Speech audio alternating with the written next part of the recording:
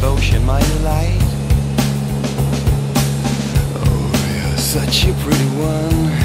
And the naked thrills of flesh and skin would tease me.